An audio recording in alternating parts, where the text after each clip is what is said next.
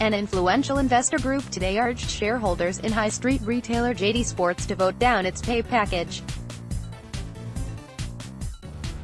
JD Sports has done little to address concerns voiced at last year's annual meeting, when more than a fifth of investors voted against the remuneration report, according to a note to investors from Pensions and Investment Research Consultants PIRC.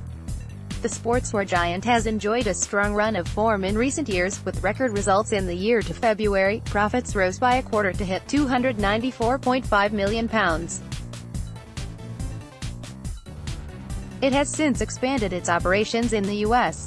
Read more, JD Sports shares have jumped after record results however, PIRC said that the increase in executive chairman Peter Cowgill's pay was not in line with the rest of the company. Cowgill's salary rose by 10.5%, compared to a head office average of 4.4%.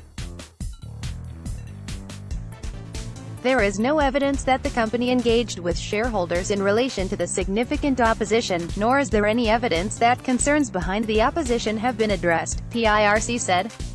JD Sports is 57% owned by Pentland Group, which did not vote against the remuneration report last year.